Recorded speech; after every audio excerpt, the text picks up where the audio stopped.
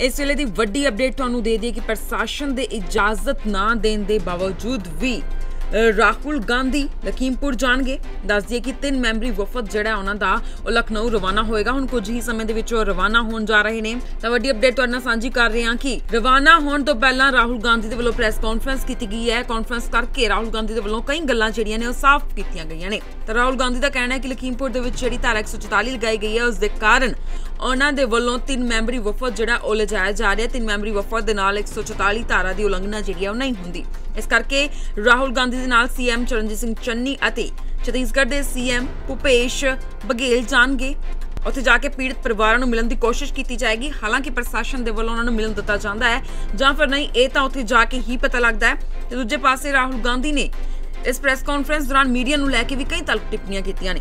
ਦਰਅਸਲ ਜਦੋਂ ਮੀਡੀਆ ਕਰਮੀ ਦੇ ਵੱਲੋਂ ਉਹਨਾਂ ਨੂੰ ਸਵਾਲ ਕੀਤਾ ਜਾਂਦਾ ਹੈ, ਪੱਤਰਕਾਰ ਉਹਨਾਂ ਨੂੰ ਸਵਾਲ ਪੁੱਛਦਾ ਹੈ ਕਿ ਲਖੀਮਪੁਰ ਖੀਰੀ ਦੇ ਮੁੱਦੇ ਦੇ ਉੱਤੇ ਰਾਜਨੀਤੀ ਕਿਉਂ ਕੀਤੀ ਜਾ ਰਹੀ ਹੈ, ਤਾਂ ਰਾਹੁਲ ਗਾਂਧੀ ਜਵਾਬ ਦੇਣ ਦੀ ਥਾਂ ਦੇ ਉੱਤੇ ਪਲਟਵਾਰ ਕਰ ਦਿੰਦੇ ਨੇ, ਤਾਂ ਕਹਿੰਦੇ ਨੇ ਕਿ ਇਹ ਤੁਹਾਡਾ ਵੀ ਕੰਮ ਹੈ ਮੁੱਦਾ ਚੁੱਕਣਾ, ਕਿ ਜੇਕਰ ਵਿਰੋਧੀ ਧਿਰ ਮੁੱਦਾ ਨਹੀਂ ਚੁੱਕੇਗੀ ਤਾਂ ਕਾਰਵਾਈ ਕਿੰਚ ਹੋਏਗੀ। ਤਾਂ ਉਹਨਾਂ ਨੇ ਪੱਤਰਕਾਰਾਂ ਨੂੰ ਵੀ ਇਹ ਕਿਹਾ ਕਿ ਇਹ ਵੀ ਤੁਹਾਡਾ ਕੰਮ ਹੈ ਕਿ ਤੁਸੀਂ ਮੁੱਦਿਆਂ ਨੂੰ ਚੁੱਕੋ ਤਾਂ ਜੋ ਦੋਸ਼ੀਆਂ ਖਿਲਾਫ ਸਖਤ ਤੋਂ ਸਖਤ ਕਾਰਵਾਈ ਹੋਵੇ। ਤਾਂ ਵੱਡੀ ਅਪਡੇਟ ਤੁਹਾਡੇ ਨਾਲ ਸਾਂਝੀ ਕਰ ਰਹੇ ਹਾਂ ਕਿ ਇੰਨੀਆਂ ਪਾਬੰਦੀਆਂ ਤੋਂ ਬਾਅਦ ਵੀ ਰਾਹੁਲ ਗਾਂਧੀ ਜਿਹੜਾ ਹੈ, ਉਹ ਲਖਨਊ ਜਾਣਗੇ ਬਾਈ 에ਅਰ ਉਹ ਲਖਨਊ ਪਹੁੰਚਣਗੇ। ਇਸ ਤੋਂ ਬਾਅਦ ਜਿਹੜਾ ਹੈ ਲਖੀਮਪੁਰ ਜਾਣਗੇ, ਹਾਲਾਂਕਿ ਲਖੀਮਪੁਰ ਉਹਨਾਂ ਨੂੰ ਐਂਟਰ ਹੋਣ ਦਿੱਤਾ ਜਾਂਦਾ ਹੈ ਜਾਂ ਨਹੀਂ, ਇਹ ਤਾਂ ਉੱਥੇ ਜਾ ਕੇ ਹੀ ਪਤਾ ਲੱਗਦਾ ਹੈ। ਫਿਲਹਾਲ ਪ੍ਰਿੰਕਾ ਗਾਂਧੀ ਨੂੰ ਵੀ ਗ੍ਰਿਫਤਾਰ ਕਰ ਲਿਆ ਗਿਆ ਸੀ ਬੀਤੇ ਦਿਨੀ, ਜਿਸ ਤੋਂ ਬਾਅਦ ਉਹ ਅਜੇ ਵੀ ਅੰਦਰ ਹੀ ਬੰਦ ਨੇ, ਉਹਨਾਂ ਦੀ ਰਿਹਾਈ ਅਜੇ ਤੱਕ ਨਹੀਂ ਹੋਈ ਹੈ।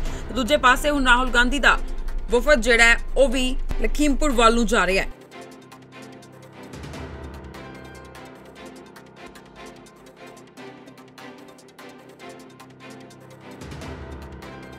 ਇਸ ਵੇਲੇ ਦੀ ਵੱਡੀ ਅਪਡੇਟ ਤੁਹਾਨੂੰ ਦੇ ਦਈਏ ਕਿ ਪ੍ਰਸ਼ਾਸਨ ਦੇ ਇਜਾਜ਼ਤ ਨਾ ਦੇਣ ਦੇ ਬਾਵਜੂਦ ਵੀ ਰਾਹੁਲ ਗਾਂਧੀ ਲਖੀਮਪੁਰ ਜਾਣਗੇ। ਦੱਸ ਦਈਏ ਕਿ ਤਿੰਨ ਮੈਂਬਰੀ ਵਫਦ ਜਿਹੜਾ ਉਹਨਾਂ ਦਾ ਉਹ ਲਖਨਊ ਰਵਾਨਾ ਹੋਏਗਾ। ਹੁਣ ਕੁਝ ਹੀ ਸਮੇਂ ਦੇ ਵਿੱਚ ਉਹ ਰਵਾਨਾ ਹੋਣ ਜਾ ਰਹੇ ਨੇ। ਤਾਂ ਵੱਡੀ ਅਪਡੇਟ ਤੁਹਾਡੇ ਨਾਲ ਸਾਂਝੀ ਕਰ ਰਹੇ ਹਾਂ ਕਿ ਰਵਾਨਾ ਹੋਣ ਤੋਂ ਪਹਿਲਾਂ ਰਾਹੁਲ ਗਾਂਧੀ ਦੇ ਵੱਲੋਂ ਪ੍ਰੈਸ ਕਾਨਫਰੰਸ ਕੀਤੀ ਗਈ ਹੈ। ਕਾਨਫਰੰਸ ਕਰਕੇ ਰਾਹੁਲ ਗਾਂਧੀ ਦੇ ਵੱਲੋਂ ਕਈ ਗੱਲਾਂ ਜਿਹੜੀਆਂ ਨੇ ਉਹ ਸਾਫ਼ ਕੀਤੀਆਂ ਗਈਆਂ ਨੇ। ਤਾਂ ਰਾਹੁਲ ਗਾਂਧੀ ਦਾ ਕਹਿਣਾ ਹੈ ਕਿ ਲਖੀਮਪੁਰ ਦੇ ਵਿੱਚ ਜਿਹੜੀ ਧਾਰਾ 144 ਲਗਾਈ ਗਈ ਹੈ, ਉਸ ਦੇ ਕਾਰਨ ਉਹਨਾਂ ਦੇ ਵੱਲੋਂ ਤਿੰਨ ਮੈਂਬਰੀ ਵਫਦ ਜਿਹੜਾ ਉਹ ਲਿਜਾਇਆ ਜਾ ਰਿਹਾ। ਤਿੰਨ ਮੈਂਬਰੀ ਵਫਦ ਦੇ ਨਾਲ 144 ਧਾਰਾ ਦੀ ਉਲੰਘਣਾ ਜਿਹੜੀ ਆ ਉਹ ਨਹੀਂ ਹੁੰਦੀ।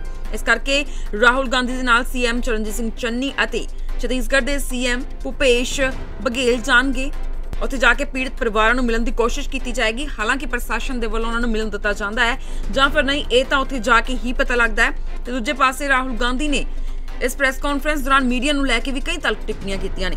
ਦਰਅਸਲ ਜਦੋਂ ਮੀਡੀਆ ਕਰਮੀ ਦੇ ਵੱਲੋਂ ਉਹਨਾਂ ਨੂੰ ਸਵਾਲ ਕੀਤਾ ਜਾਂਦਾ ਹੈ, ਪੱਤਰਕਾਰ ਉਹਨਾਂ ਨੂੰ ਸਵਾਲ ਪੁੱਛਦਾ ਹੈ ਕਿ ਲਖੀਮਪੁਰ ਖੀਰੀ ਦੇ ਮੁੱਦੇ ਦੇ ਉੱਤੇ ਰਾਜਨੀਤੀ ਕਿਉਂ ਕੀਤੀ ਜਾ ਰਹੀ ਹੈ? ਤਾਂ ਰਾਹੁਲ ਗਾਂਧੀ ਜਵਾਬ ਦੇਣ ਦੀ ਥਾਂ ਦੇ ਉੱਤੇ ਪਲਟਵਾਰ ਕਰ ਦਿੰਦੇ ਨੇ। ਤਾਂ ਕਹਿੰਦੇ ਨੇ ਕਿ ਇਹ ਤੁਹਾਡਾ ਵੀ ਕੰਮ ਹੈ, ਮੁੱਦਾ ਚੁੱਕਣਾ ਕਿ ਜੇਕਰ ਵਿਰੋਧੀ ਧਿਰ ਮੁੱਦਾ ਨਹੀਂ ਚੁੱਕੇਗੀ ਤਾਂ ਕਾਰਵਾਈ ਕਿੰਚ ਹੋਏਗੀ? ਤਾਂ ਉਹਨਾਂ ਨੇ ਪੱਤਰਕਾਰਾਂ ਨੂੰ ਵੀ ਇਹ ਕਿਹਾ ਕਿ ਇਹ ਵੀ ਤੁਹਾਡਾ ਕੰਮ ਹੈ ਕਿ ਤੁਸੀਂ ਮੁੱਦਿਆਂ ਨੂੰ ਚੁੱਕੋ ਤਾਂ ਜੋ ਦੋਸ਼ੀਆਂ ਖਿਲਾਫ ਸਖਤ ਤੋਂ ਸਖਤ ਕਾਰਵਾਈ ਹੋਵੇ। ਤਾਂ ਵੱਡੀ ਅਪਡੇਟ ਤੁਹਾਡੇ ਨਾਲ ਸਾਂਝੀ ਕਰ ਰਹੇ ਹਾਂ ਕਿ ਇੰਨੀਆਂ ਪਾਬੰਦੀਆਂ ਤੋਂ ਬਾਅਦ ਵੀ ਰਾਹੁਲ ਗਾਂਧੀ ਜਿਹੜਾ ਹੈ, ਉਹ ਲਖਨਊ ਜਾਣਗੇ ਬਾਏ 에ਅਰ ਉਹ ਲਖਨਊ ਪਹੁੰਚਣਗੇ। ਇਸ ਤੋਂ ਬਾਅਦ ਜਿਹੜਾ ਹੈ, ਲਖੀਮਪੁਰ ਜਾਣਗੇ। ਹਾਲਾਂਕਿ ਲਖੀਮਪੁਰ ਉਹਨਾਂ ਨੂੰ ਐਂਟਰ ਹੋਣ ਦਿੱਤਾ ਜਾਂਦਾ ਹੈ ਜਾਂ ਨਹੀਂ, ਇਹ ਤਾਂ ਉੱਥੇ ਜਾ ਕੇ ਹੀ ਪਤਾ ਲੱਗਦਾ ਹੈ। ਫਿਲਹਾਲ ਪ੍ਰਿੰਕਾ ਗਾਂਧੀ ਨੂੰ ਵੀ ਗ੍ਰਿਫਤਾਰ ਕਰ ਲਿਆ ਗਿਆ ਸੀ ਬੀਤੇ ਦਿਨੀ।